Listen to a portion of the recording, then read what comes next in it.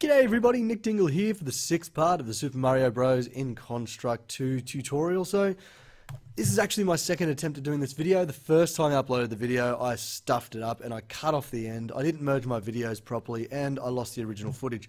So, apologies to those people who have seen the stuffed up one. This is hopefully going to be the correct one with no issues.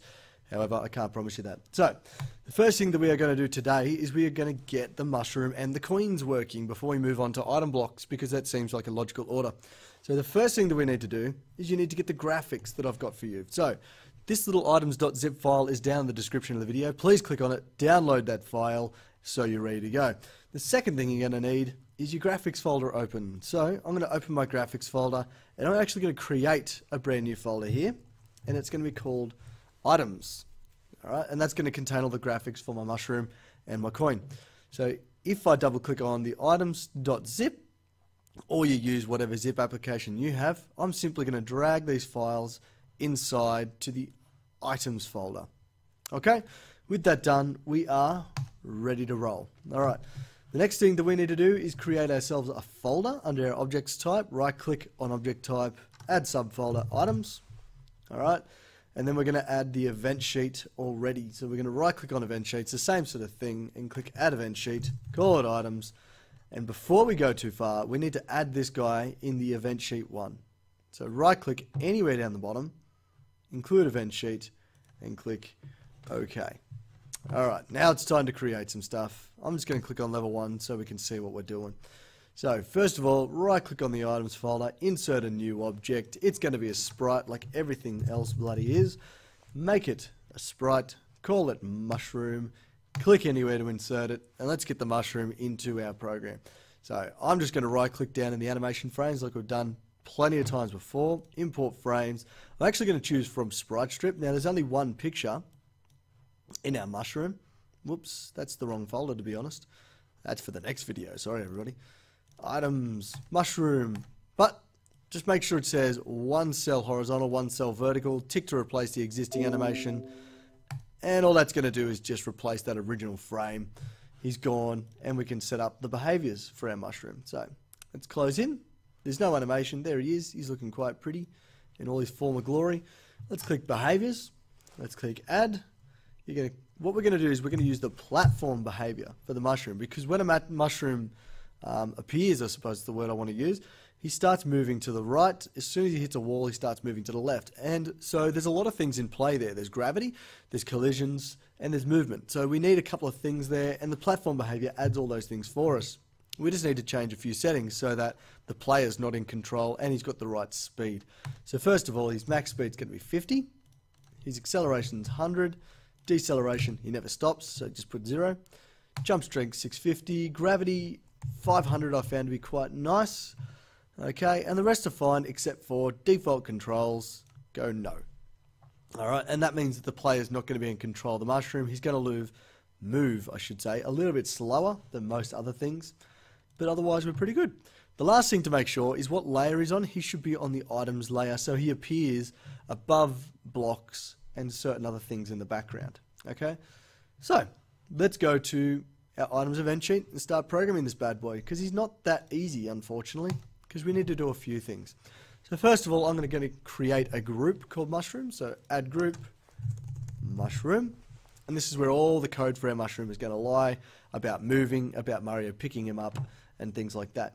Okay, so the first thing that we need to talk about okay is when Mario picks up items or he takes damage like when Mario's growing and shrinking we don't want anything on the screen to move. So mushrooms, enemies, and different things included. So what we're going to do is we're going to check if Mario's active, and if he is, we're going to allow the mushroom to move. If Mario's not active, which means he's either dying, or he's being hit, or he's growing or shrinking, well, that I've repeated myself, but that's fine, then the mushroom won't move. Okay, and that's really, really easy for us to do. We just need to check if Mario's active first. So click on this group, press S for a sub event. Let's go to Mario. Let's check his Boolean variables. And let's check if he is active. Okay, so if Mario's active, we're going to move this mushroom at the set speed. So click add action next to this. And it's really us for to, easy for us to move mushrooms. You just simulate a control and we're going to simulate pressing right because that's the direction that the mushroom travels to begin with. Let me zoom in a little bit. There we go. and the other thing is the mushroom not moving. So we need to check if Mario is not active. So I'm going to click on the edge of this event. I'm going to press X to get an else there. So if Mario is active, else, we're going to stop the mushroom. And the easiest way to stop the mushroom moving is to, whoop, I think, I can't remember the actual name of it to be honest. Set enabled, disable the platform. Okay, with the platform disabled, the mushroom can't move. There's no gravity in play, nothing. It will actually disable the mushroom, and it will just be sitting wherever he is at that current time until you re-enable him. So, in turn, if the Mario is active, we need to enable the mushroom. So I'm going to add an action underneath my simulate pressing right, and I'm going to re-enable him. And that's just going to be good little practice. You're not going to see much going on, except for where did Mario go? The mushroom moving. And he's pretty good. You can see he's hitting the wall. He's not turning around the other way. So that is what we're going to take control of right now. Okay. We're going to do a tiny little bit of maths here, people. I know people don't like it, but if you are here for programming, you are here for maths. Now, let's say we've set the maximum speed of the mushroom to 50. Okay. And when we simulate pressing right, what's he doing? He's accelerating towards that number 50. Now, so let's just say to the right, hmm, how do I explain this quickly? Okay, so horizontal movement, left and right, is controlled by what's called your vector x. Okay, if you are traveling at 50 on your vector x, that means you're moving 50 pixels to the right. Okay, that's your speed. Now, if we were to flip that, if we were to go negative 50, he'd be moving left automatically. Even though we're simulating to the right, okay, that just means accelerate basically. If we accelerate in the negative value, we are accelerating to the left. So what we're going to do is we're going to be flipping his acceleration between 100 and negative 100. Okay, and this is actually really, really easy to do. Now we could do, we could check if it's 100, then we can swap it to negative 100, and if it's negative 100, we could swap it to 100. But unfortunately, we need to change the acceleration and the vector x. So there'd be a lot of checking going on, and it's a lot more code than I'm I like basically. So let's say his acceleration is 100. If we wanted to get it to negative 100, there's a couple of things we could do. The easiest mathematical way is to times by negative 1. Whoop, I just minus. So 100 times, and then we type in 1. So 100 times negative 1 equals negative 100. That's pretty straightforward. But the beauty of this little technique is if we times by negative 1 again, it becomes 100. So it literally flips between the positive and negative values that we have. Okay? So what we're going to do is whenever that mushroom hits a wall, goes bang, we're going to swap the acceleration and his vector x to the negative value and he's going to keep, start going this way and when he hits this wall we're going to swap him to the positive values and he's going to head the other way and it's literally just going to keep doing this forever for us. Now there's a lovely little check in the platform behavior to see if there's a wall to the left or the right. So what we're going to do is check if the mushroom has a wall to the right. So mushroom is by wall right. Alright. And the code for this is a little bit ugly, but just bear with me. So I'm going to change his acceleration. And what's the acceleration going to be? It's going to be his self dot platform dot acceleration times negative 1, just like I showed you on the calculator. And we're going to do the same thing here, but for his vector x. So I'm going to copy and paste this action here. So copy, paste, double click to edit, go back, we need to find vector x, and I'm simply going to change acceleration to vector x. So now everything says set vector x to vector x, and there's lots of vector x going on there. Okay, so that's going to swap him, save, run, to go the other direction. Now we just have to do it for the other side. Now we could copy and paste this code, or we can add another condition and then make this an OR block. So let's add another condition. Just I'm going to copy and paste that. So now we've got the two conditions. I'm going to change this to the left wall. Okay, so you can see the mushroom is on the wall to the left and has a wall to the right. That's pretty much impossible unless he's jammed inside a hole. So we're going to make this an OR block. So I'm going to right click here, make or block. So if he has a wall to the left, whoops, wall to the left, or he has a wall to the right. Try it out, make sure it works. And there we go. And that's just going to keep going forever for us. That's the beauty of that little piece of code because it just flips between the negative and the positive. All right, the final and the easiest piece of code that we're going to do in this video is when Mario picks up the mushroom. So we're going to say if Mario collides with it, and he's a small Mario because you don't want the big Mario becoming a big Mario again, we're again going to call on Mario's grow function because we already wrote that in the last video. So go to items. Let's add a sub event to the group let's say Mario collision with another object, the mushroom. So when Mario collides with the mushroom, but he has to be big, so press C for another condition. Mario boolean is big, and you don't want, he has to be big, you want invert. So press I, or you can right click and invert. Okay, so collides and is big. Function, if you can spell it, call function grow. And then finally, we want to destroy the mushroom. Otherwise, there's it's going to look weird, weird. Okay, that's it. Mario's going to collide with the mushroom. If he's small, he grows and it destroys the mushroom. Now, I know you can pick up mushrooms when you're big and you get points, but we haven't implemented points yet, so we're going to talk about that later. Let's just grab the mushroom. Woohoo! Big Mario.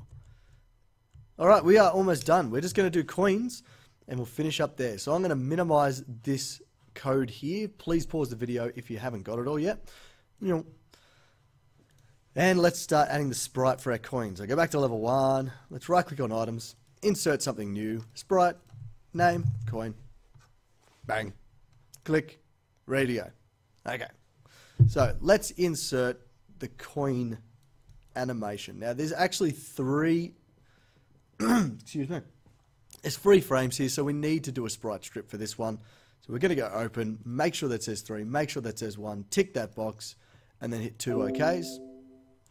Okay, and we're going pretty good. Now, the other thing we're going to do is we're going to quickly, we're going to duplicate this frame here.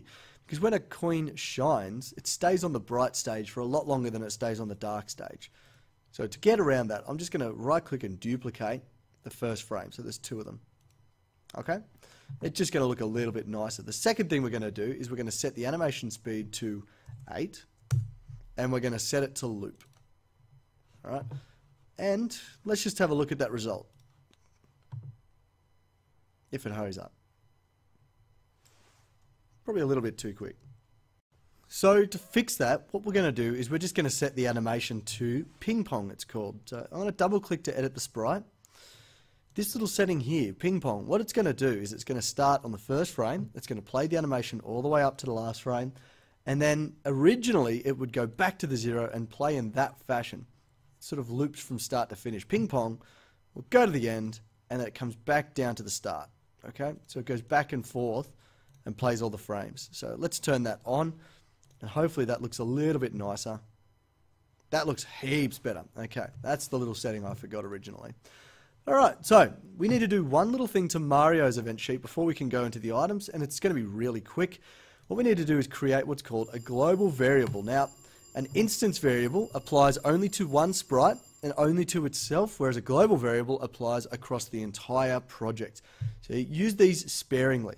Okay. The reason I'm creating a global variable for coins is because A, it appears at the top of the screen, so it's always in the game. B, there's only ever one Mario in the game, so you're never going to have more than one set of coins. Okay, even in the modern games with multiplayer, you've only got one counter for coins. And there's going to be a couple of things that increase your coin values. So you can pick up a coin, or you can hit a block with a coin in it. Okay, so there's a couple of places we need to use it. So thus, it becomes necessary that we use a global variable. Okay, if you don't understand what it is, it's a little, it's a spot where we can put a number that your entire act program can modify. All right. So with that done, just make sure it's a number, make sure the initial value is zero because Mario doesn't start with coins unless it's a saved game, etc. And then we're ready to go to the items spreadsheet, well, spreadsheet, event sheet, create a group, call it coins. All right. and we're going to add a little bit of subcode here. So press S, go to Mario. We're going to check if he collides with the coin, and wait for it. The world's hardest code, coin, destroy, and then we're going to add one to our coins variable. And you'll find that under system, because it's global, there's globals and locals. So let's go add to coins, one. So when Mario collides with the coin, destroy the coin and add one to his coin count. Let's add a couple of extra coins in the level. Dodgy as, but anyway. Ching, ching, ching, ching.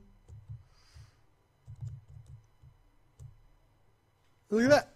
Most of our items are working. Now to prove to you that this coiner, uh, coin counter is actually working, I'm going to run in debug layout. Now I've never done this in any of my videos, but down the bottom, we can actually see what's going on in a lot of detail. And if I scroll down, we're in the system tab at the moment, so I'm going to scroll down. There's, whoop, whoa, go away.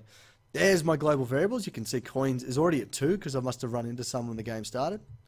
Three, four, five, six, seven. There you go. That's the video done for today, everybody. Thank you very much for watching. I would hope to see you in the next video. If you want to like, comment, and subscribe, I'd love to hear from you and yeah, keep you up to date. Next video, we're going to look at item blocks. It's going to take a bit, so please come and join me. I'll see you then, everybody. Ta-ta for now.